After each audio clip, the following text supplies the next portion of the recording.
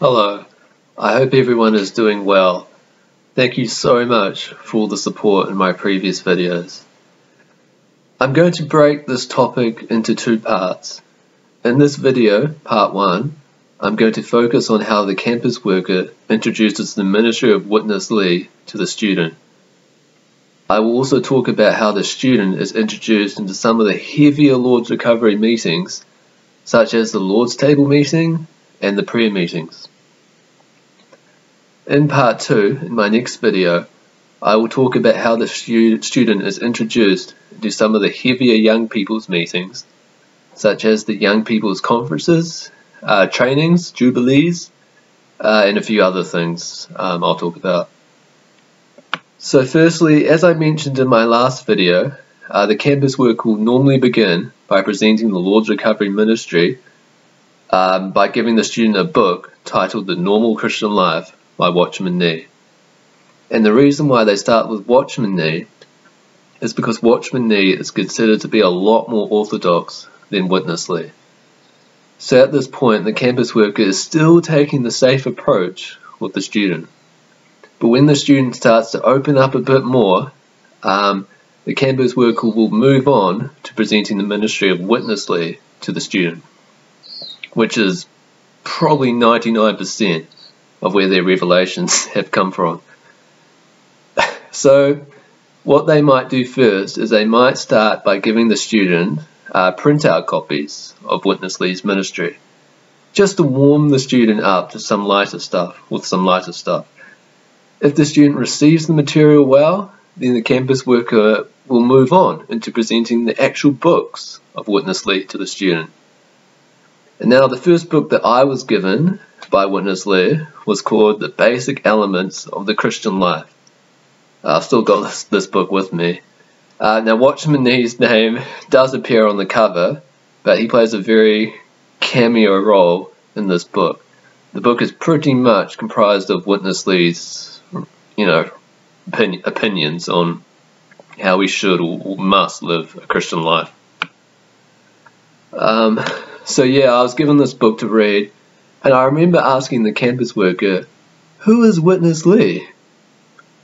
I was puzzled because I never honestly heard that name before, even though I'd been meeting in the Christians on campus for at least six months. I still never heard of that name. Because as I've been saying in my other videos, they hide his name very, very well um, to avoid any accusations against the cult. So the campus worker replied by telling me, you know, Witness Lee, Brother Lee, he was a humble minister of the word who did, who did a lot of work in helping the church grow and expand in many different cities and even different countries all around the world. So I thought, wow, what a great guy. Uh, I sort of got the impression that he was like a, a missionary figure, an important missionary or, or something like that. Uh, that's what I thought at the time. Also, during this time, I got introduced to prayer reading. Now, prayer reading is a term that Witness Lee pretty much made up. You won't find the word prayer reading anywhere in the Bible. Uh, now, I'm going to give an example of how they do this. Okay, so Isaiah 9 verse 6, a very famous verse in Christianity, and also a verse that this group uses to claim that Jesus is the Father.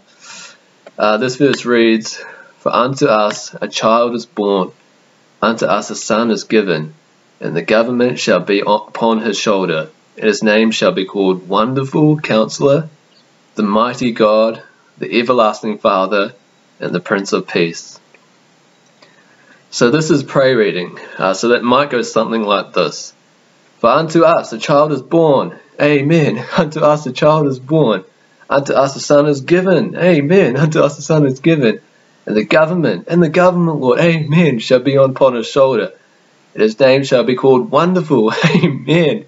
Amen. You are so wonderful, Lord. Counselor. Amen. You are a counselor, Lord. The mighty God. Oh, you are so mighty, God. The everlasting Father. Amen. You are everlasting. Amen. And the Prince of Peace. So it might go something like that. Uh, and this is, yeah, this is crazy. Absolutely crazy. Uh, and it's possible too that the student might be a little bit creeped out by this weird behavior. But the campus worker or the other member will comfort the student by saying something like, you know, don't worry, brother. Um, the more Christ you receive, the easier it will, it will be for you to release your spirit. Amen. Uh, yeah, and also during this stage, the student will be introduced to this term called drinking, drinking Christ. And this is where they pretty much shriek, shriek, Oh Lord Jesus, oh Lord Jesus, oh Lord Jesus. And pretty much the louder you do it, the better. This is also what they call, Witness Lee called, yeah, the same, exercising the spirit or releasing the spirit.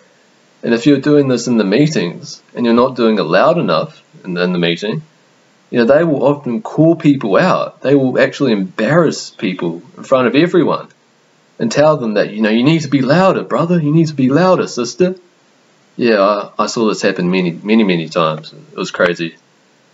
Um, so, if the student actually receives all this, um, what will usually happen is that the student will start to fully integrate into the actual Lord's Recovery meetings.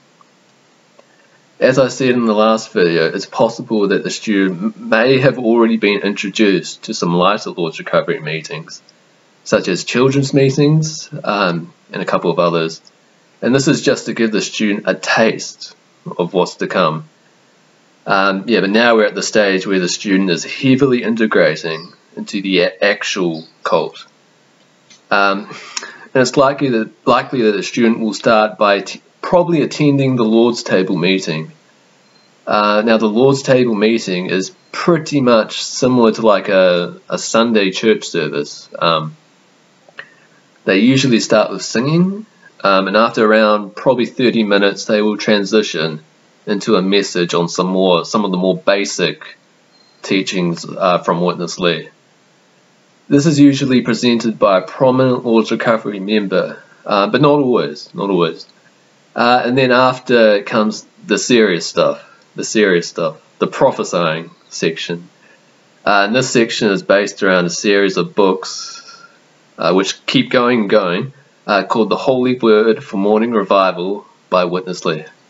Now, again, they do have Watchman Nee's name on these books, but yeah, don't be fooled. Almost all of the content, content, all of these books are from Witness Lee and you're pretty much expected to parrot this content at the Lord's table meetings. So during the prophesying section, people will just stand up, you know, one by one, and they'll literally be parroting what they enjoyed, enjoyed uh, in these little morning revival books. Um, you know, there will be very little Bible in these meetings. It will just be Witness Lee's interpretation on how we must live in order to be a proper Christian uh, and how terrible these worldly Christians are. Oh, it's terrible. You know, so much for oneness. Uh, so yeah, the student will also be given a morning revival book, and the student will also be expected, will be heavily pressured by the campus worker and others to stand up, you know, in front of the whole church and to share their enjoyment of these little Witness Lee books. And if the student doesn't really want to share, or they might be a little shy, uh, often the group pressure will be poured on the student and you know they'll be told you know you need to ex exercise your spirit brother. You need to exercise your spirit brother. Just like you exercise your body you also need to exercise your spirit. Uh, and this can be very distressing for the student.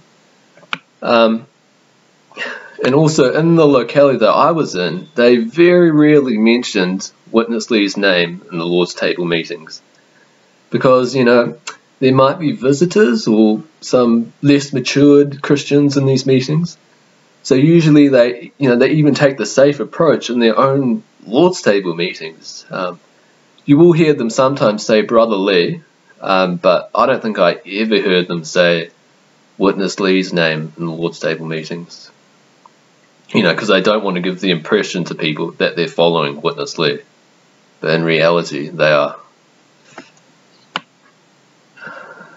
So yeah, um, if this goes well, if the student is open to all this stuff, then the student will, will probably be also introduced to the prayer meetings. Uh, and at these prayer meetings, you will have you will see a lot of heathen behavior. Matthew chapter 6 verse 7 says, But when you pray, use not vain repetitions as the heathens do, for they think they'll be heard for their much speaking. And this is what this cult is, this cult is doing exactly what this verse says not to do. They shriek, Oh Lord Jesus, oh Lord Jesus, oh Lord Jesus, Amen, Amen, oh Lord Jesus. Uh, yeah, and the student, eventually the student will start acting like this too. Yeah, it's terrible. So yeah, in the next video, I'll talk about some of the other meetings, and I'll also talk about some of the heavy, heavy student meetings, uh, such as the Young People's Conferences, Jubilees, uh, trainings, etc. And also what will usually uh, happen is that the campus worker will start to treat the student a lot differently. Uh, the deceptive love bombing approach will completely go out the window once the student is fully conformed to this cult. And the campus work will act like a completely different person towards the student. I'm going to speak about this in my next video. Uh, and once I've finished my next video, I'll probably be halfway through my series on this cult um, yeah, and then after that, I'll, I'll, in my next half of my video series, I'll start to talk about um, some of the fear tactics that they use to trap people in this cult. Yeah, so thank you so much for watching, and, thank you, Brother Paul, for allowing me to speak again. Uh, God bless.